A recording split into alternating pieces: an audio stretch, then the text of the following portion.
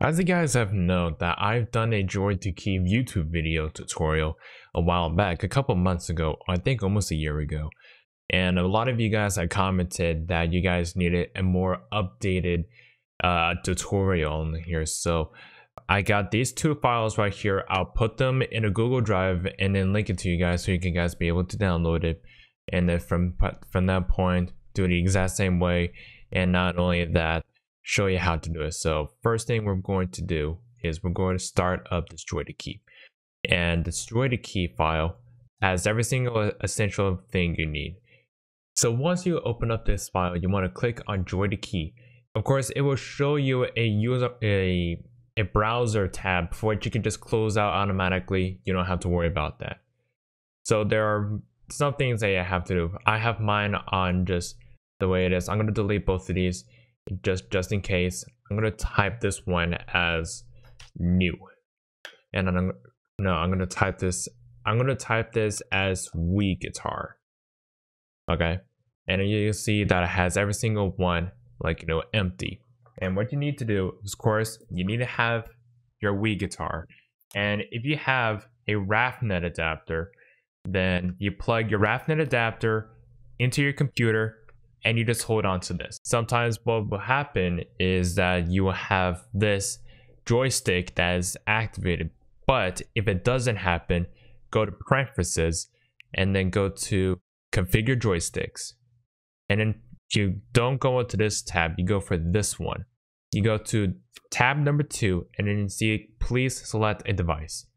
You then click WUSB Mode V2.1. That is your adapter to your Wii remote. That's all you really have to do for that part. And if you want, you can just do configure game controller and then this would just be popping up, advanced, all that stuff, just whatever. And then just from there. Okay, so after you click uh, one player WUSB mode version 2.1, then you can head over here. Now you can do say for example associate with other profiles, but the main thing you need to do is have this right here, the, configure joystick key, the configure joysticks setup, and then say that you want to start configuring all these buttons right here. And there we go. Now everything will start highlighting yellow whatever you press. Now stick to don't mind this. This is your whammy bar. And the whammy bar is a current um is in currently in development. But everything else, the buttons, the strum bar, the pause, and the select button, it all works. Okay. Now, say you are wanting to press uh, button one. Button one, which is your green, it will sometimes be as button 1 or button 5. Whatever you are pressing, you want to set that button to whatever function you want as for the keyboard. So we go to button 5 right here and then we do edit button assignment. And this is where it is comes into. Now you can have it set to keyboard, you can have it set to mouse, or you can just have it disabled. But what I would do is go over here and then click, say for example, a 1. So whenever I press this button, it acts as the when I'm pressing down on the 1 button. And that's really all you need to do for that part. And now see it shows 1 right there. And some and then all that. Button 2 is of course red. So you go over here and when you press 2. And you do the same way for the rest of the part. Just go all the way through, down your entire fretboard. Okay, now we got the entire fretboard set. Now we need a strum bar. So we go down here around 10-ish or just around. Yeah, it going down, the down strum is button 14. So go over here and we redo the up arrow key. Uh, no, no, no, the down arrow key because it's your down strum and upstrum is 13. So we do the up key. And then there's that. And then we do the pause button, which is 4. Let's say, hmm, ah, let's say enter. Why not? And then for button three, we would do, hmm, let's say E. Why not? Because you're activating star power. And, and that's really what you would use it for, is just doing your star power. So you have everything set up. The only thing that is messed up is the stick 2, which is your whammy bar. But everything else, it is perfect. So now since we have that done out of the way, we can close this out. Next we need to open is GH input. And then when you need to go to is OBS GH inputs. And then you need to load the file APVKP. And then do the, the APVKP file. And then if I can bring it out over here, editor, there we are. This is what will show up. It, it, it will show up first on your main uh, monitor, but if you right click on it and you do editor, then everything will show up. So this is what will show up to have your button set. And as we could scroll down, once you click on these buttons, you see the keys right there. They're set to different ones, while the up bar and the down bar, and then like E and then whatever, that's all set.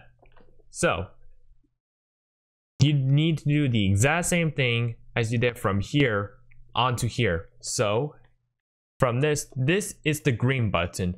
It's mirrored and then I will show you what to do on OBS after this one. So on here, green, you press one and you go the same way all the way down.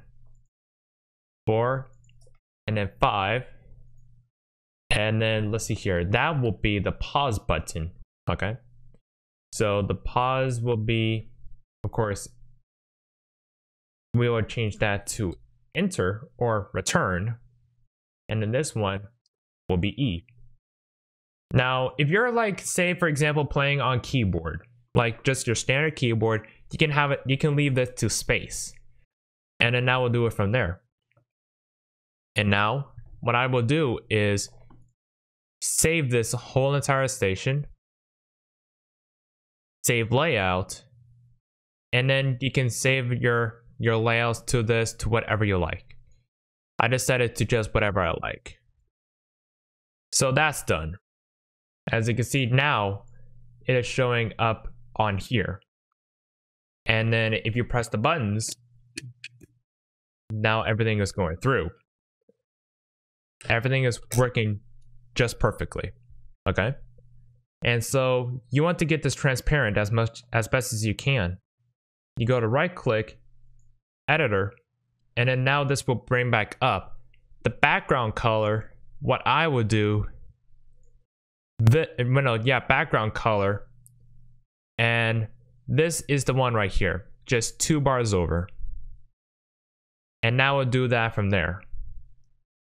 And if we do if we tried to do transparent key, not available in an OBS compatibility mode. That's fine.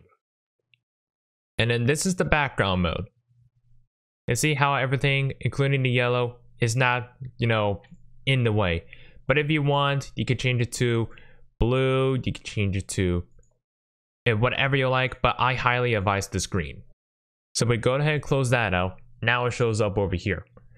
And then since all the buttons are over here, we go ahead and click on filters. And then, yeah, here's what I will do. On OBS, we click on filters. And this is the entire bar right here. Remember, all the buttons work. You configured it that way. You go ahead and go down to color key, I believe. Yes, color key. And then you do custom color.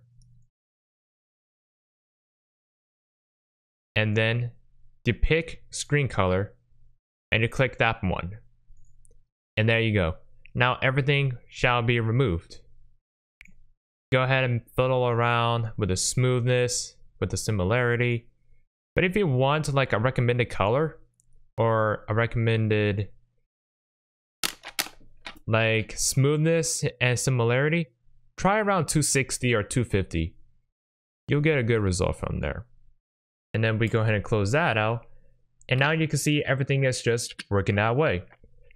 You can have it set to your top left, you can move it to your top right, bottom right, or bottom left, anywhere you like. And you can zoom it up. And remember what I said earlier, that this whole entire thing is mirrored. Go ahead and click on it, right click, I meant, and you click on transform, and you click flip horizontally. And now everything is just the way how you press the buttons on how you see in the game. I hope this tutorial helps out a lot. And if you need to go back to like wherever the parts were, I'll leave a timestamps down to where you left off. In the meantime, if you guys have any questions, let me know down in the comments and or uh, mention me on Twitter and I'll see what I can do to help you out with here. But, but for now, thank you so much for the tutorial. Thank you for watching. See you guys next time.